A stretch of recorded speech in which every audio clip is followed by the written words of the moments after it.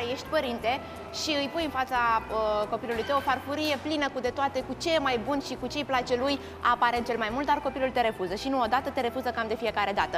Despre acest subiect uh, discutăm în această dimineață cu Crina Coliman, expertă în uh, creșterea și în educarea copiilor. Bună dimineața, Bună dimineața. Crina, bine ai venit uh, alături de Mulțumesc, noi. mi-a fost dor de voi.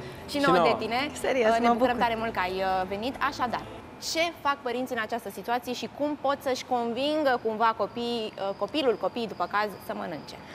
Uh, Vă răspund, am două răspunsuri pregătite. Să o luăm așa, cu începutul, că avem tot timpul. Primul răspuns este duminică 7 aprilie la București. Am uh, o conferință din cadrul turneului național cum îi facem pe copii să mănânce. Uh, accesul este gratuit, adică poate să vină oricine. Până în acest moment s-au înscris 1500 de oameni la acest eveniment. Mai multe detalii pe pagina ta de Facebook, Crina Coliban, te găsim, Mi-este da? frică, mi-e frică și mi-e o onoare imensă să înțeleg, să văd că din ce în ce mai mulți oameni înțeleg că să faci un copil nu te face automat părinte. De asta vin atâția oameni duminică să afle răspunsul la cum îi facem pe copii să mănânce. E, dar Am noi suntem înțeles. mai privilegiați și putem să aflăm uh, câteva Mai În repede, premieră. mai mai repede. În premieră. da. Bun, deci îi punem uh, farfuriuța de mâncare în fața, copii, în fața copilului, bineînțeles, și acesta refuză să mănânce. Ce facem în acel moment? Ne Uite, enervăm tu m-ai sau- provocat acum și eu o să-ți dau un răspuns la această problemă de matematică. Respectiv, că așa devine povestea asta cu copiii, știi, ai impresia că ai făcut școala degeaba, școala vieții. Dacă acum, în momentul ăsta, cel mai important nu te descurci. În loc să-i pui copilului o farfurie plină cu de toate în față, pune ție o farfurie în față și lui nu-i pune nicio farfurie.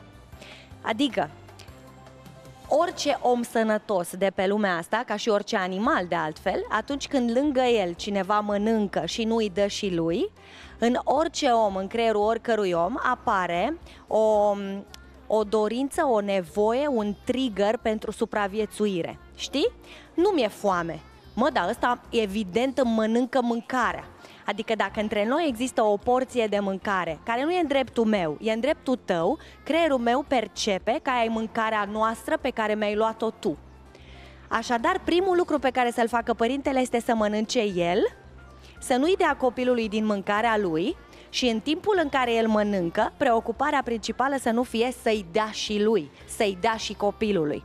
Preocuparea principală a părintelui trebuie să fie să mă hrănesc eu, să-mi fie mie bine, respectiv să fiu un model pentru tine. Asta este foarte bine de punctat pentru că una dintre greșelile frecvente pe care părinții uh, le fac este aceea de a își obliga cumva copilul să mănânce. E ora mesei, gata, trebuie să mănânce și fac tot posibilul să mănânce. Uh, Pun uh, mâncarea uh, pe, în linguriță, în lingură, linguriță, furculiță, depinde ce iese și uh, pe principiu hai avionul. Și nu doar hai, să- deschide gurița, avionul și atunci copilul se simte cumva obligat. Și nu doar să mănânce, ci să mănânce și tot ce este în uh, farfurie. Ce se întâmplă în acest Adevărat. caz? Știi, uite, eu, eu pot să mă port cu voi ca și cum eu aș fi mama voastră și voi copiii mei. Dacă producătoarea emisiunii ne aduce o lingură și un iaurțel, eu promit că vă hrănesc pe amândoi aici, astfel încât să vă dați seama și să confirmați public cât de invadată, de agresată te simți atunci când cineva vrea să-ți bage ceva în gură, atunci când cineva care vrea să-ți bage ceva în gură nu te pregătește și a, a te pregăti nu înseamnă hai deschide gurița. A te pregăti înseamnă să-mi faci poftă, Natalia. Dacă noi două stăm la masă și tu mănânci în fața mea, dacă ești un om sănătos în relația ta cu mâncarea, o să-mi faci poftă. Adică eu o să vreau să-mi bag în guriță. Ori dacă noi, doi stăm, noi două stăm la masă și tu constant îmi spui, vrei și tu, ești o gură, hai și tu o gură, hai deschide gurița, hai numai un pic, hai numai un pic, eu o să spun, Natalia, relaxează-te, mămică, stai liniștită, vezi de treaba ta. Dacă ți-aduci aminte când noi ne ducem la părinții noștri, indiferent ce vârstă am avea, când intri în casă la mama ta, care e prima întrebare pe care ți-o pune mama ta imediat cum intri în casă? Se foame? Dacă vrei să mănânci. E, vezi? Clar. Deci noi până murim, sora mea, până murim, noi avem preocuparea asta să-i hrănim pe ăștia din jurul nostru. Și te așezi la masă și mama ta îți spune, Natalia, vezi, mami, că ai aici și salată băf. Ia pâinica, ai văzut-o? Ia, ia și puțină pâinică. Hai, mamă, deschide guriță. De ce deschizi, mamă, gurița așa mic? Ori nu-ți place? Ce o să-i spui maică-ti? Mamă, lasă-mă, mamă, stai liniștită, ia du-te femeia la televizor, la antena Stars, relaxează-te în sufragerie. Înțelegi? Da, apropo de, de mâncare, care este cantitatea și măsura linguriței pe care ar A, trebui să oleu, o dăm oleu, oleu, copilului? oleu, oleu. Deci asta este obsesia tuturor părinților. Absolut orice părinte am întâlnit în șapte ani ăștia de când îi fac pe copii să mănânce, are această problemă. Eu cred că nu mănâncă suficient, știi? Și mereu întreb, dar pe ce te bazezi? Pe ce te bazezi când crezi că nu mănâncă suficient? Ai tu niște studii? Știi tu care e doza zilnică recomandată din fiecare nutrient pe care ar trebui să... Înțelegi? Adică sunt niște chestii foarte concrete și, și științific demonstrate pe care părinții nu le cunosc, dar cu toate astea au această uh, atitudine de a tot știutor, de a tot puternic în fața copilului, care asta e atitudinea care îi deranjează cel mai tare pe copii, indiferent de vârstă. Așadar, despre cât? Spun mereu și uite, am scris o carte în acest sens care se numește Cum îi facem pe copii să mănânce un curs de diversificare și copii mofturoși și spun mereu, de asta e și imaginea asta pe copertă, nu este despre cât. Mâncarea nu este despre cât. Mâncarea este despre cum arată și în imaginea asta, este despre ce. Înțelegi ce mănânci astfel încât să-ți încarce inima și corpul de energie, de bucurie, de viață faină. Deci nu este despre o cantitate anume. Nu, niciun părinte nu ar trebui să aibă în vedere de la începutul diversificării gramele pe care trebuie să îi le ofere la o masă pentru că foamea diferă și depinde de atât de multe aspecte. Un, un exemplu concret. Gândește-te că dimineața copilul mănâncă un măr. Da. Copilul tău mănâncă un măr, copilul lui Mircea mănâncă o bucățică de carne cu quinoa. În câtă, în câtă vreme crezi că îi va fi foame copilului tău care a mâncat dimineață măr?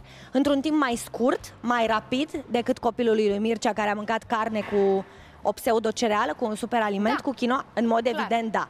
De aici ce concluzie tragem? Prima concluzie, că nu, copiii voștri nu pot să mănânce amândoi la aceeași oră următoarea dată, corect? Da. Copilului tău îi se va face foame mult mai degrabă decât îi se va face foame copilului lui, așadar nu putem să avem mese fixe. De ce? Pentru că puterea calorică, așa cum zic părinții, consistența alimentelor diferă. Asta în primul rând. În al doilea rând, copilul tău a mâncat 20 de lingurițe de măr.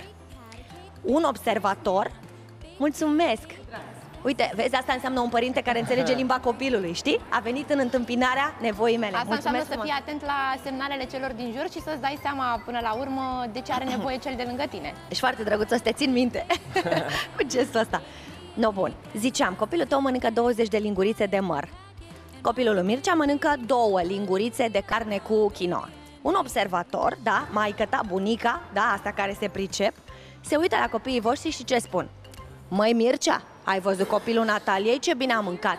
A mâncat 20 de lingurițe? Al tău a mâncat două? Mă, băiatule, nu faci treabă bună. Hai, mămică, mai mănâncă, hai în coguriță, hai în coguriță.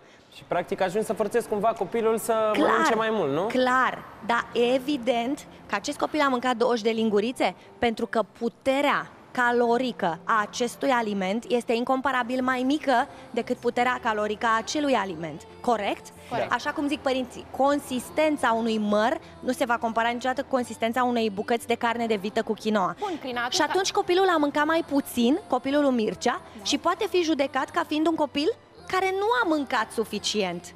De fapt, când compari cele două tipuri de mâncare, îți dai seama că, de fapt, copilul lui Mircea a mâncat suficient. Bun, și atunci ne comparând, Crina, ca și părinte, cum putem să evaluăm corect cantitatea pe care copilul nostru ar trebui să o consume zilnic și cum ar trebui să evaluăm corect ora la care acesta ar trebui hrănit? Despre cantitate. Nu doresc să le bag pe mame față de care am o imensă hai să nu zic iubire că sună prea pătimaj, dar am un imens respect, o imensă considerație. Femeile astea implicate în creșterea copilului sunt niște supraoameni, crede-mă. Să fii un părinte implicat este greu, foarte greu, super solicitant și atunci eu nu le-aș zice niciodată mamelor, iubitele mele, trebuie să fiți atente la nu știu câte grame din nu știu ce aliment. Nu! Ce le sfătuiesc pe mame mereu este să considere superalimentele în favoarea alimentelor simple. Superalimente înseamnă alimente din care te hrănești puțin și, și din care mănânci puțin și te hrănești mult. Există un search pe Google după superalimente sau dacă doresc, în cartea mea află zeci de pagini despre comparații între alimente și superalimente ca să te prinzi că de fapt dacă dai două linguri dintr-un superaliment, ai făcut treaba pentru 10, 15, 20 de linguri dintr-un aliment care are mai puțin nutrienți. Deci nu este despre cât, în continuare este despre ce. Am înțeles. Iar despre oră, m-ai întrebat când ne dăm seama când e foame copilului. Până la 2 ani, când copilul nu știe să-și exprime Dorința. verbal foamea, nu poate să zică, mamă, îmi dai și mie ceva de mâncare? Corect. Ar trebui să avem în vedere mai multe aspecte. De exemplu, activitatea fizică, un copil care depune mult efort fizic, o să mănânce mai, mai mult și mai des decât un copil care stă toată ziua la televizor sau pe tabletă.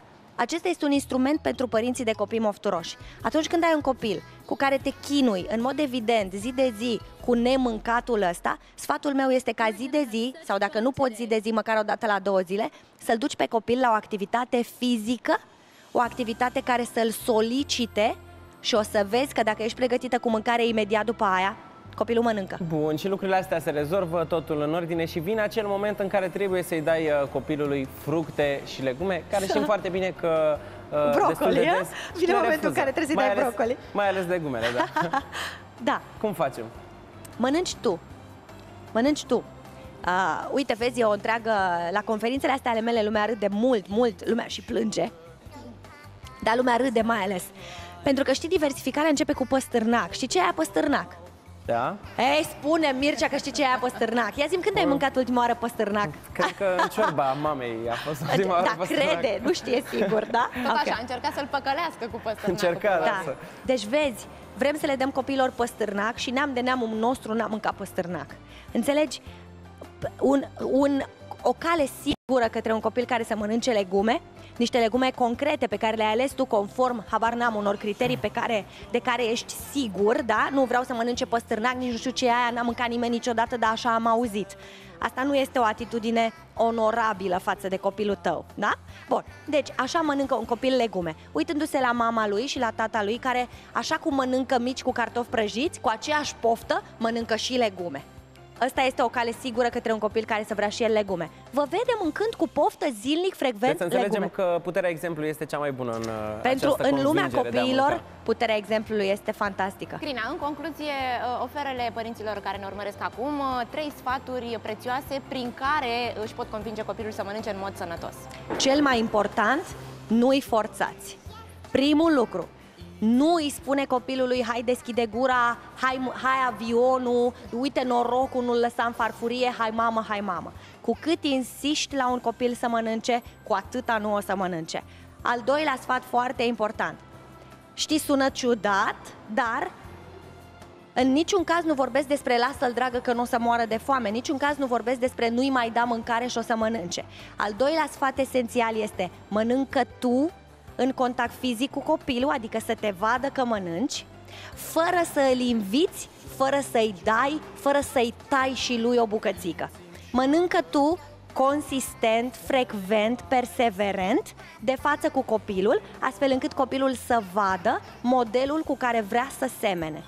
Și al treilea instrument foarte important, mâncarea trebuie să fie o bucurie. Adică, atunci când ești acest model pentru copilul tău, alege întotdeauna mâncăruri care îți plac. Se vede că le mănânci cu bucurie și cu poftă. Pentru că adesea povestea asta cu să mâncăm sănătos îi face pe părinți să mănânce, știi, am, am avut un părinte la conferința din Timișoara care mi-a zis, vorbeam în conferință și la un moment dat p- tatăl, d- soțul îi spune doamnei, ți-am zis mă că de aia nu mănâncă lăturile astea ale noastre. da, pentru că vezi, în momentul în care, ăsta e al treilea sfat, în momentul în care te uiți la mâncarea copilului și în sufletul tău, în capul tău este cum să mănânce lăturile astea, ăla este un nu, un nu sigur. Al treilea sfat este mâncarea pe care dorești să-i o dai copilului tău, trebuie să fie o mâncare la care când te uiți, te umpli real de bucurie. Îți mulțumim tare mult, Crina. Mulțumim. Crina Coliban a fost alături de noi pentru toate sfaturile tale. Mai multe informații, dar și despre evenimentele tale, chiar și cel de duminică, despre care spuneai mai devreme, pe Facebook și Instagram. Da, pe bănuiesc. Instagram, da, clar. Crina Ok. Coliban. Mulțumesc, Mulțumim tare mulțumesc, mult și te să vă așteptăm cu fie mare, de mare bine. drag la noi și data viitoare.